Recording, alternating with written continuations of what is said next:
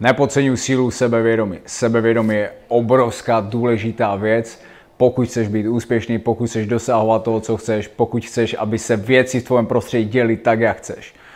Musíš mít sebevědomí. Sebevědomí neznamená arogance. Sebevědomí je vědom si svoji hodnoty. Dám ti příklad.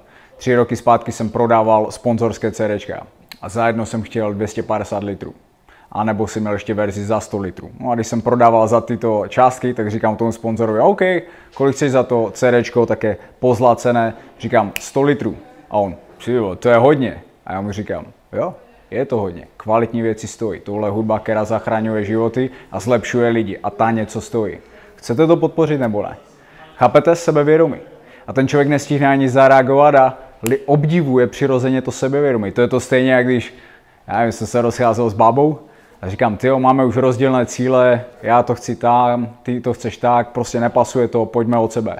A ta slečna říká, hm, já stejně vím, že jsem pro tebe ta nejlepší baba na světě. Ona v tu chvíli, jak to řekla, tak sebevědomě ve mně úplně, ty vole. A normálně jsem začal přemýšlet nad tím, že ty vole, chápete? Když napereš to sebevědomě, to je to, co potřebuješ udělat, dát tam záměr. OK, takže pracuj na svém sebevědomí. Jak? Drž disciplínu a pokud dodržuješ disciplínu, máš právo být sebevědomý. Ne arrogantní, sebevědomý. Sebevědomý přitahuje úspěch. Buď sebevědomý.